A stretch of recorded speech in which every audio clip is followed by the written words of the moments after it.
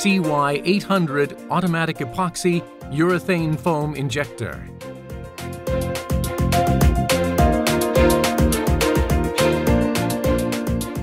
Machine preparation. Installation of chemical feeding entrance. Hose connection.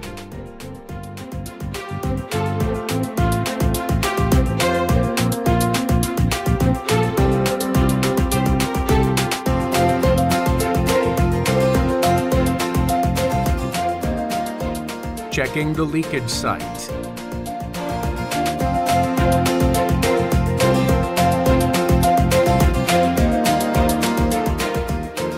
Hole drilling.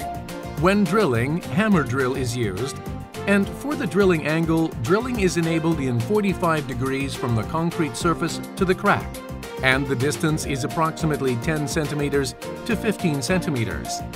The location of the drilling hole is preferred to be about one half to one third of the concrete thickness. Insert and fix the packer.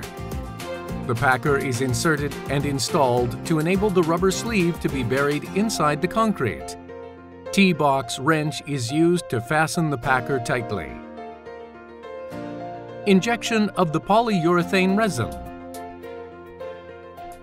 Automatic injector CY800 is used to inject until the urethane resin flows out from the crack.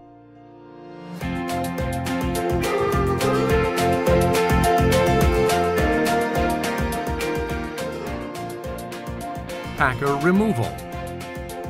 Vice plier or hammer is used to remove the packer.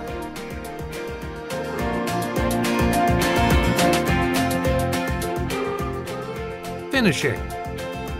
After hardening for sufficient amount of time, the waterproofing agent hardened on the surface of the crack is removed with a scraper.